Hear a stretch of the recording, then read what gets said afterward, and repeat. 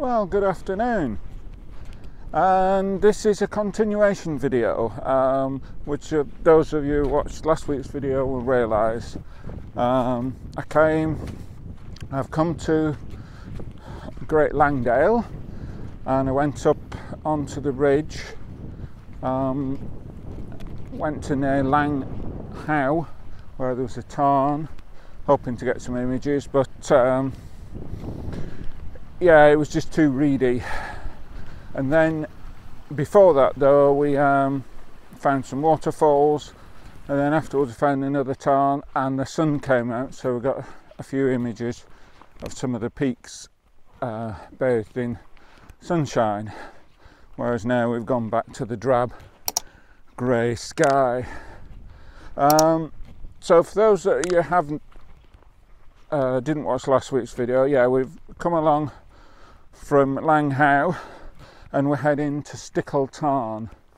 So the aim on this video is to get to Stickle Tarn, see if we can get any images there, and then head down down the beck, uh, which I know there is uh, a number of of waterfalls, etc., that hopefully we can do before get back in back down to the valley bottom and then head back to the van yeah, so that's the the plan of this video. Um, I'm going to be presumptuous and thank those that commented on the last video and my um, requests about where should the channel be going, and that uh, anybody who did uh, comment, it is greatly appreciated. So yeah, so I'll stop rambling. We'll get on this and we'll see you when we get to Stickle Tarn. Right, well, we've made it to the tarn. Um, on this bit, I had real difficulty um, staying on the path, and in the end, uh, I actually got the compass out because although I've got the map on my phone with the GPS, the paths aren't particularly clear, although there's a, they're definitely marked on the map. So I thought I was going on the path, walk for a while, get the phone out, and find I'd wandered off to the right or to the left so in the end, I got the compass out. So when I was looking at the map, I could um, have it pointing north, so I knew which way I was going. And even then, I, I was struggling. It's you sometimes wonder whether you're on a path or a, uh, a sheep trail. So anyway, but we're here now, and we've come up with our first composition, or our composition at the tarn here. Uh, right, you can see there's the camera and um, the composition is um, excuse me. It's a portrait and we've got the fairly close in so we focus tactic because we've got the rocks in front of the camera in the river and then um, is that Stickles? something like that. Um, whatever the name of that peak is I will put up on the, the video when I get home. I think it's um, Pike of Stickles, something. It's something like that. Um, certainly one of the Langdales is. Um, and I think that one's Harrison Stickles. Again, if I've got it wrong, I'll put the, the correct name up on, on the video. So, yeah, so that, that's the image we've come up with. I don't think it's going to be spectacular because, um, unfortunately, the light's not spectacular. It's, uh, as I say, uh, if you watched the video before, I did get some where the sun suddenly poked through the clouds and lit up some of the um, the summits. Um, but since then, it's been very grey, very downcast. I think it's quite a good composition. Um, some of these big tarns, they're not easy to do. Um, I can't remember last time. Last time I came, I did three tarns. I did Easedale Tarn, Codale Tarn and this tarn. Um, and some of them uh, had the drone out so I could get an aerial um, image. Um, but today, although I've got the drone with me, I just feel I'm still very nervous and I just feel it's far too windy. Um, if I did, I can't remember, but if I did take an aerial um, image of this tarn. I'll, I'll, put it up on the video just so you can see what the, what the tarn's like. But uh, I think we've got a nice image there. Um, so what we're going to do, we're going to carry on round the tarn. Um, if there's anything that in particular I think is quite good, I'll, I'll capture the image. But I think with the wind, um, the poor light, uh, the fact that the, the tarn's not particularly calm, so there won't be any reflections. I doubt whether we'll find anything else. Um, but going down Stickle Ghyll, I know there is a number of waterfalls I want to try and capture those before we head back to the van. So, yeah, we'll carry on. We'll put this uh, image up and we'll see you a little bit later.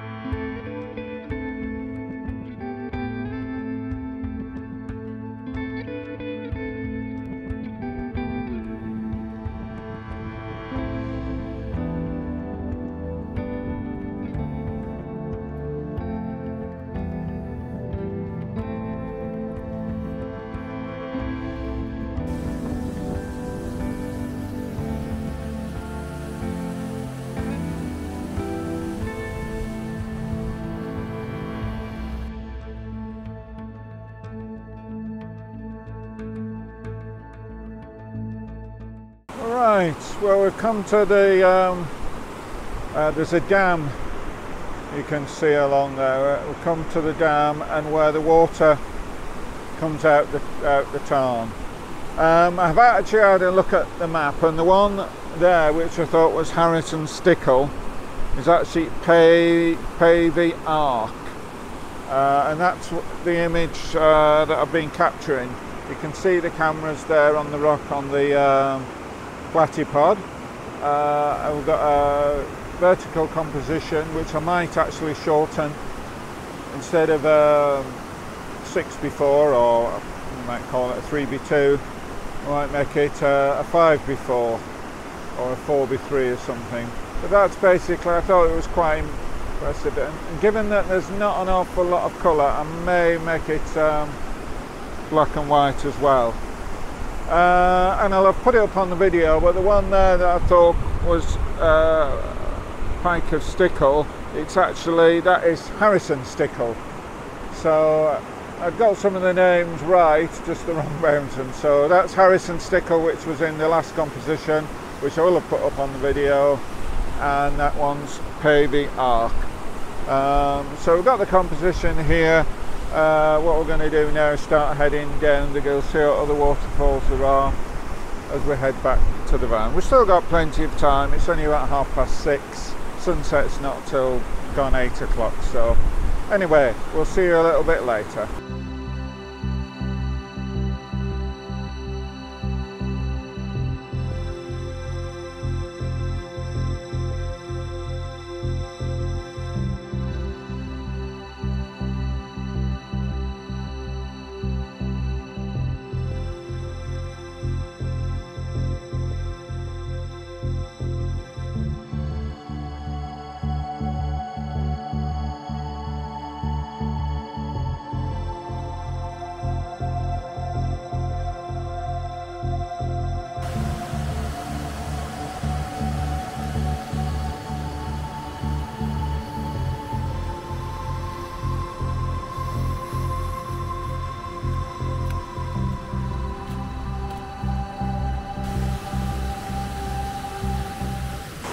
Right, well hopefully you can hear me on the, the roar of the river. And we've come down not much further and we've got our next composition. So um, yeah. Um, you can see there's the camera. And we're zoomed in on to the um, let's not let's not zoom out. Let's move it up and down.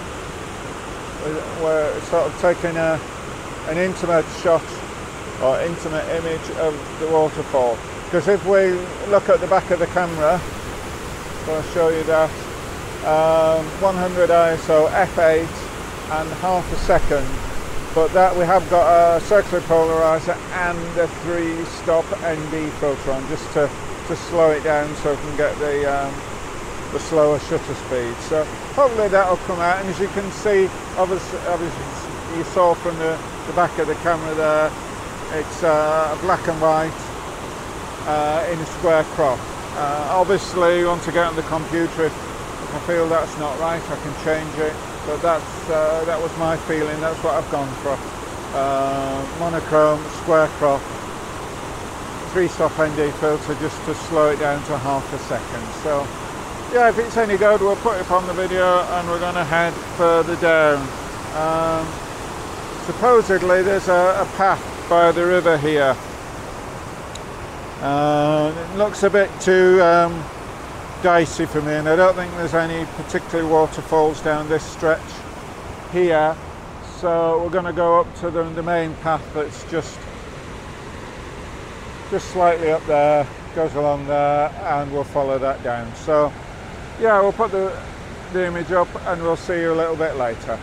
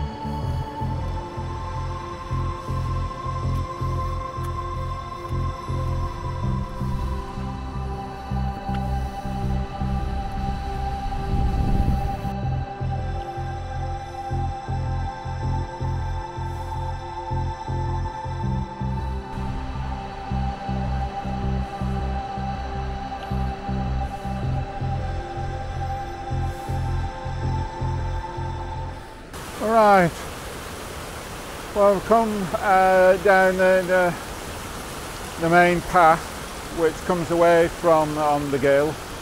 Um, although it is quite, it's not the easiest to pass because you're coming down quite steeply although there's blocks to stand on. And we'll come back towards the river or the gill and there's an awful lot of um, waterfalls as you can see there and the water coming down here. Um, I'm feeling quite tired. And I would imagine they can they're probably better got from the footpath working from the footpath on the other side. So I'm not going to actually stop and uh, capture images of these ones here. Maybe if there's ones further down that I can easily um, get access to, but I'm quite tired and I don't want to start risking um, going on difficult bits when I'm tired. So we'll carry on down the path and we'll see what happens.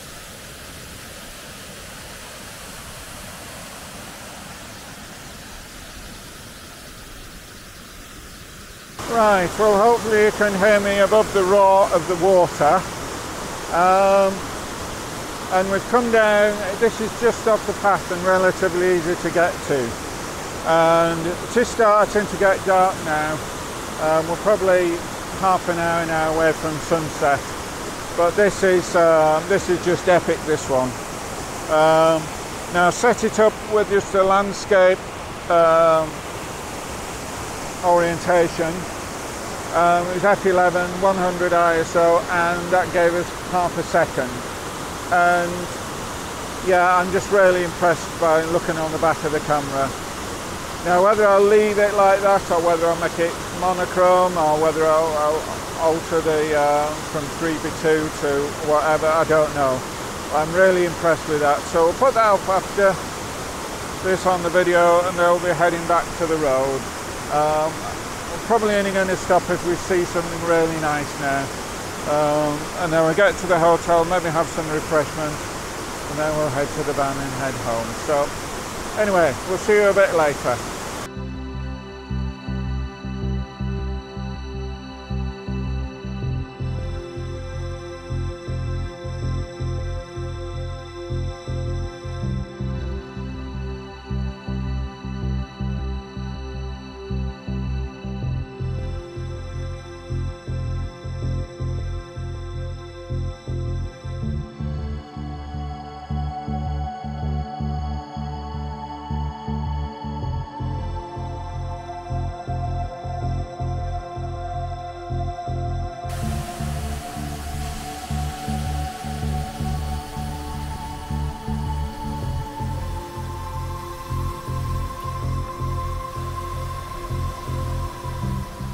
Right, we found this final fall on the way down, but it's getting quite dark now and it doesn't look particularly easy to get down.